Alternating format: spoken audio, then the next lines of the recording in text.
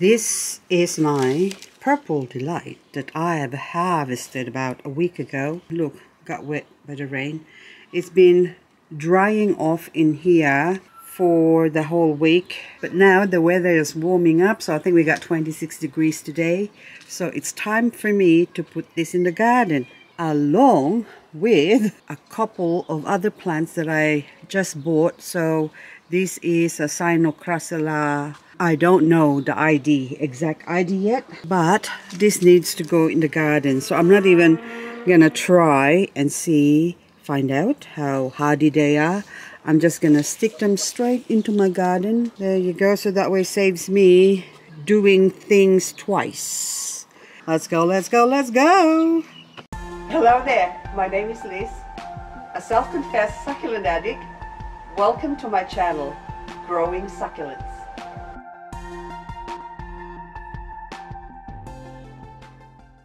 So I am in my garden now where my crane is. And where the crane is, I would like to put a nice feature plant in this spot here. So in this area here. So something nice and big and in your face. So I'm planning to put my Frank Reinelt in that spot. But around it, I'm putting my Sinocrassula. So this is my Frank Reinelt here which is not very colorful at the moment. So I pulled this out from my big pot that's been growing uh, in the backyard. So there's plenty of roots. And there you go. Now, oh, okay, there's babies. You have how many babies? You got a couple of babies. So there's one here and also another one here. And look at all of them at the back. Uh, one, two, three, four. Oh, another one. I like the satellite babies. The satellite babies are the ones that sort of extends out.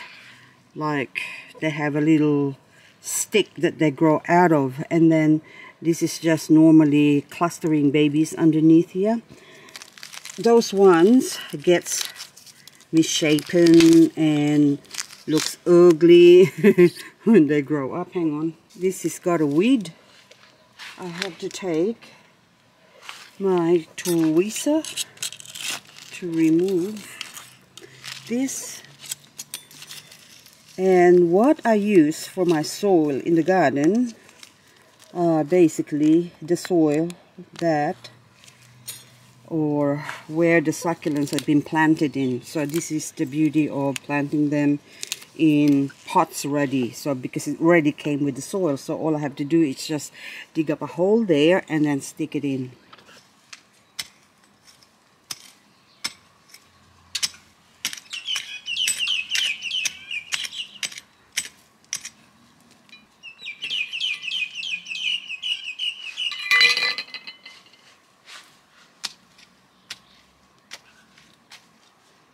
I'm gonna use my little doobie lucky to loosen up the plant.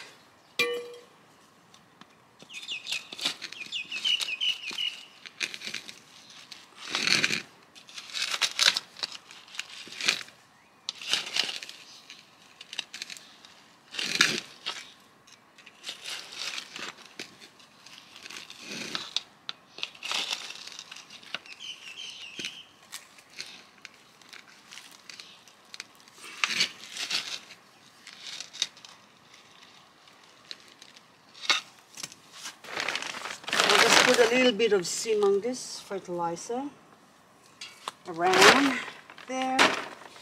And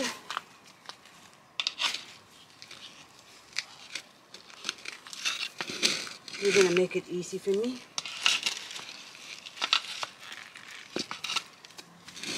Also there's a few dry leaves here.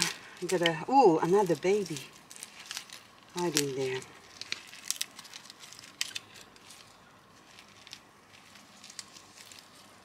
And another baby. Look at that, huh? Hang on, I'll show you. I'll just pull this off. You see, babies over there, that white one. And also on the opposite side, see that one there. So there's probably a couple more in there, but anyway, that's good enough. Now I'll just put her into the hole. Hang on, there's dry leaves. This is very frost hardy, so she can stay out.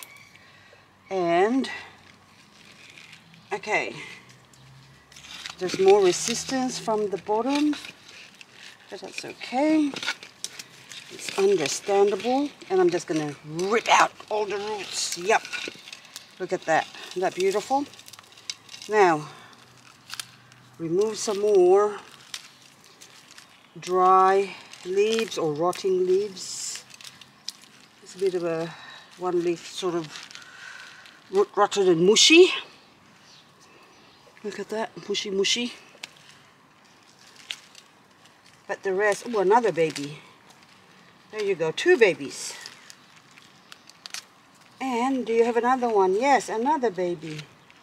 Okay, that's okay. I'm not gonna show you. I'll just plunk this over there. Remove the roots. All done. See, I just half, that's fine.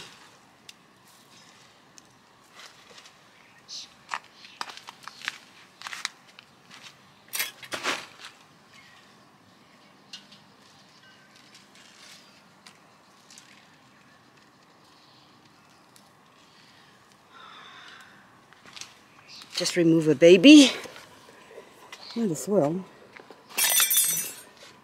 And I'm just gonna use the dirt from this pot to cover up the base of that one.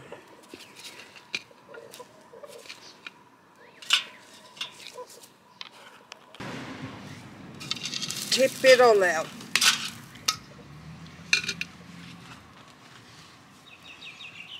and tuck it all in. So essentially I'm using the same soil that has been growing in.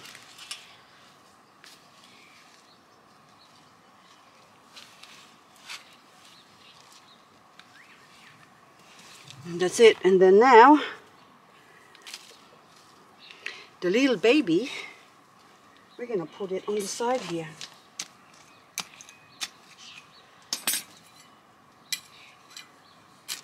Or maybe under the crane. Be good.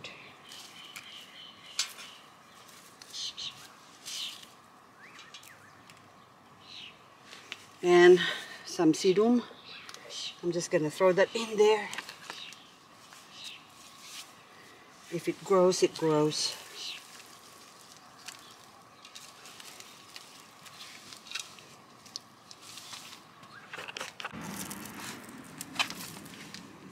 I have this Malva moschata rosea that died. So a new plant.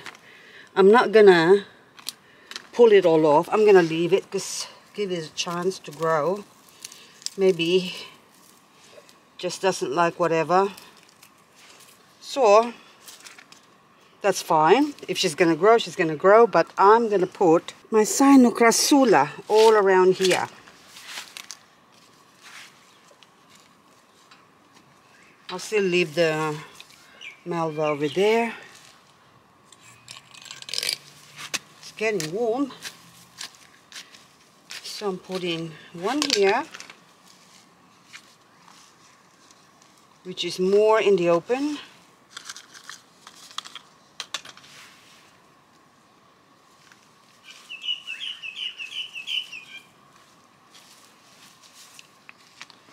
And then the other one because this is like a different variety. I'm to put it on the opposite side here where my Bidens is. So over on this side. So I'm doing a division of labor.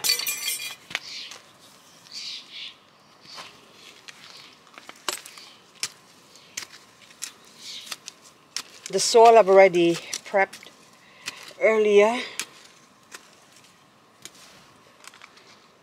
So now I'm going to take this out.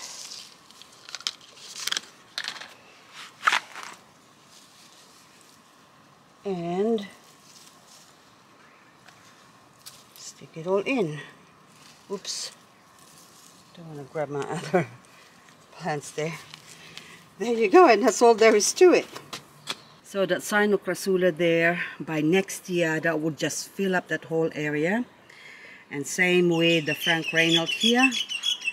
And so as the other Sinocrassula indica, probably this one. That's just going to fill up that area. Well, not fill up, but it'll be thicker and may hopefully it will grow this way. Now this area is slowly filling up. Look at that, isn't that gorgeous? It will be a beautiful garden once these babies grow. Okay, on to the next one. And as far as my plate of purple delight, I am going, because this is all still cuttings and still babies, I am putting it over there. So you notice that it's being protected. It's out in the open, but this is now getting afternoon sun so it doesn't get morning sun.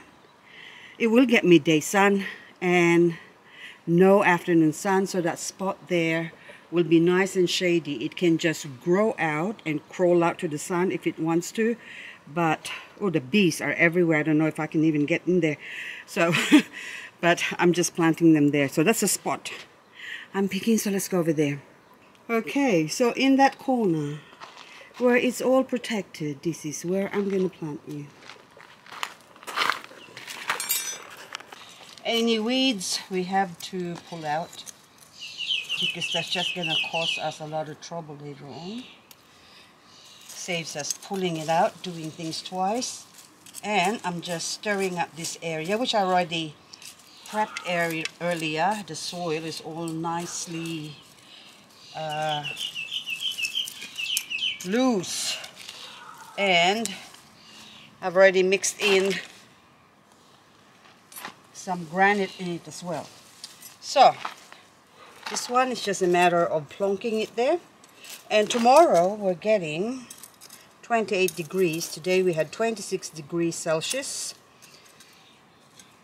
But these plants will be happy just being here there's no drama, no whatever. The more they're used to being exposed to the sun, the better they are, or the better they will be. You get stronger plants.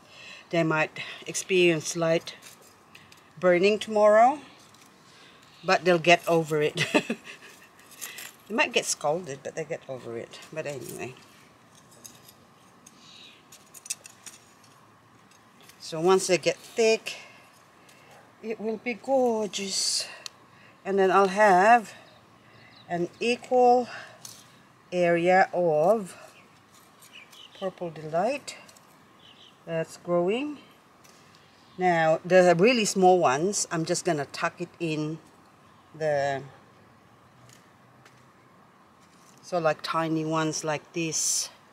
This is just gonna get hidden somewhere because you can always pull it out and move it somewhere else.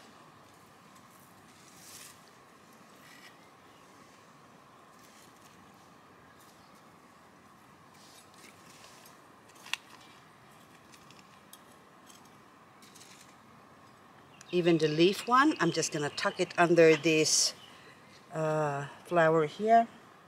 I forgot your name. Calibrachoa, that's it.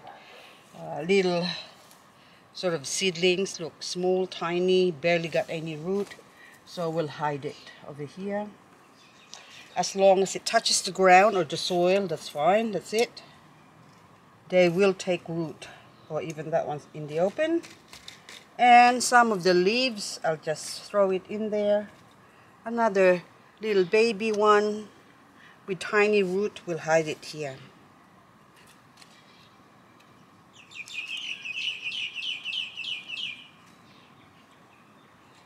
Now, same time next year, you won't even see a patch of dirt on that one. It'll just be all covered up with purple delight. How delightful. So anyway guys, that's all for this video. And I still have my bumblebee to fill up. So this pot here, I'm still contemplating. Three bumblebees and the sun shining on it, so it's really hard to see. There you go. So um, I don't know what I'm going to put in there. I'll see, maybe some agave. I was going to put some spiky ones, but I still don't know. We'll wait and see. Oh, anyway. Oh, look. You're flowering. Look, gorgeous. Gorgeous, cute. Okay, guys. Thank you so much for watching. And I'll see you on the next video. And I'm just going to clean up my mess.